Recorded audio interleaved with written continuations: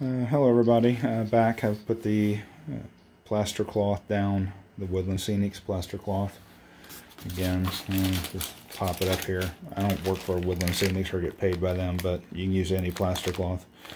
Um, laid it down and just, you know, this is the subsurface. This is just kind of putting it down. You got to mash your fingers in to kind of fill in some of the holes. Um, then I'm going to let this dry. And after I let it dry, I'll see what I've got to work with and probably put in some patch. Um, maybe some Sculptamold or something uh, to show some patchwork on the roads in different places. Uh, see what it ends up looking like.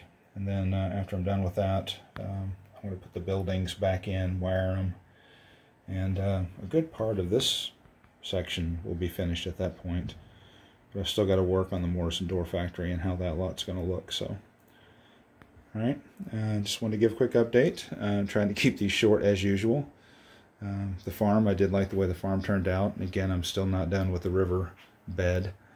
Uh, the river bed itself, I like the way it looks, um, but I'm trying to figure out how I'm going to finish it now. So, and to that end, if you've viewed a few of my videos, I'm running an experiment here where I've cut out and tried different things to uh, see how I could seal the bed.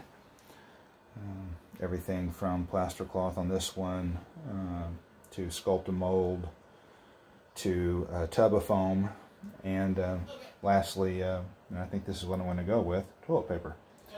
So um, I did a pretty good job of holding the contour of the bottom and keeping the effect um, which I like as far as